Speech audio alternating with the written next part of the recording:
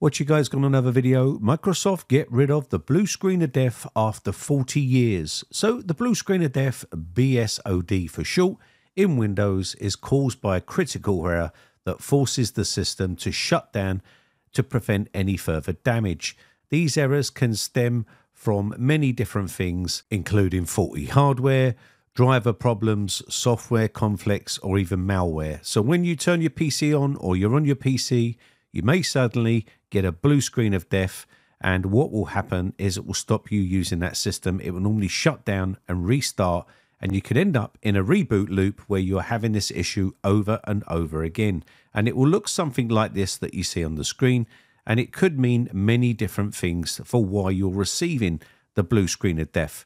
So, why are Microsoft suddenly putting all of this energy into changing the blue screen of death or getting rid of the blue screen of death? Well, they're not actually getting rid of it. They have tried the black screen of death, but this caused major problems. Lots of people complained about the black screen of death. People got up in arms and started raging and ranting on the internet, as they do about certain things. And of course, Microsoft then actually pulled the plug on the black screen of death and reverted back to the blue screen of death. And that's what we've stuck with for all these years. Now, it's not to say that Microsoft haven't dabbled in other colors. The red screen of death was in Vista days, and that was in the very early release. They've even uh, added the green screen of death, and this is in the beta channel, as you can see here on Microsoft's website. So they're providing more and more streamlined UI for unexpected restarts, which better align with Windows 11. So basically, what they're doing here, this is on the Insider program on the beta and dev and uh, Canary uh, channels, and you may see this rolled out in the near future where you'll get some form of green screen. But this is going to be the new black screen. They've gone back to the black screen idea, but they've mentioned this all on their website to make it easier to navigate unexpected restarts and to recover the system faster. This is a new way of fixing and repairing Windows when you get a screen error like this one right here. So they're saying they're concentrating on the ability to maintain productivity and minimize the disruptions that is caused by these unexpected restarts through a error on the system, whether it'll be from hardware, driver problems, software, or even malware or other sort of conflicts on the system. So they're adding a quick machine recovery, which is a recovery mechanism for PCs that cannot restart successfully.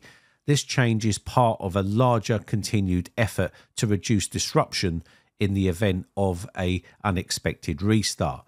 So the Windows 11 24H2 release included improvements to Crash Dump Collection, which is your dump files that end up in that dump file area where all your blue screen files are normally added with all the information about what's caused the actual crash. Now, Microsoft say here that the release includes improvements to the Crash Dump Collection, which reduces downtime during the unexpected restart to about two seconds for most users. Now, Microsoft has said they're also introducing a simplified user interface, which is your UI, which you see on the screen right here, that pairs with the shortened experience. This means that the updated UI improves readability and aligns better with Windows 11 design principles while preserving the technical information on the screen uh, when it's needed. Now, normally when the system restarts, it will automatically restart and you don't get time to read that screen. You have to uncheck the automatically restart and it will stay on the screen. So now they're trying to improve that by keeping it on the screen and giving you more time to be able to read the error code and the error, which is normally at the bottom of the screen. So the simplified UI for unexpected restarts will be available starting later this summer on all Windows 11 versions 24H2 devices and above, of course. Now, they also talk about the uh, unexpected restarts on these devices that can get stuck in the Windows recovery environment, which is your Windows RE, impacting productivity and often requiring IT teams to spend uh, you know specific time troubleshooting and restoring these affected devices. They go on to say this is where the quick machine recovery, QMR for short, can help. So, when widespread outages happen with these computers that are affected devices from starting properly, Microsoft can broadly develop targeted remedies to the affected devices via the Windows RE, automating the fixes with QMR and quickly uh, getting users back up into a productive state. And this is what they're trying to aim for. Now, it's all well and good saying this in writing but it's whether this is actually going to work. A lot of this stuff has been going on for many, many years. It's very difficult for a lot of people to fix blue screen of deaths because it could be a hardware issue or a software issue, and you need to quickly determine what's caused it. And if you're not technically minded, it can be very difficult.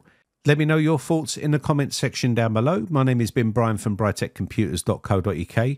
Hope you have a lovely weekend, and I'll catch you in the next video. Bye for now.